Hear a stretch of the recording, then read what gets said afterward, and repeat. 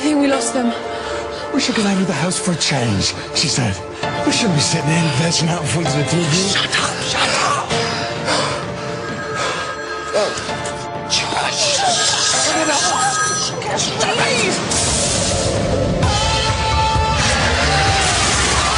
Time to face their demons. Being human. Coming soon to BBC Three.